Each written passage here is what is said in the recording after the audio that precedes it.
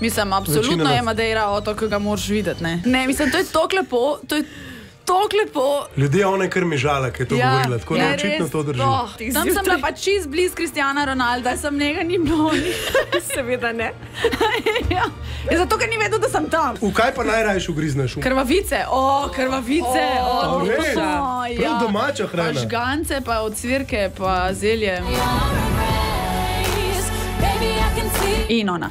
Veste, kaj meni se pa zdi, da tole pa absolutno ne bi bilo v redu. Pa še to bom povedala, Ja. te ne full cool špon in te besede. Po ribanšku. Po ribanšku. Na ribanšku, uh, ura je 20 do 9. Mraz nam je že jako dobro zlajzel pod kožo.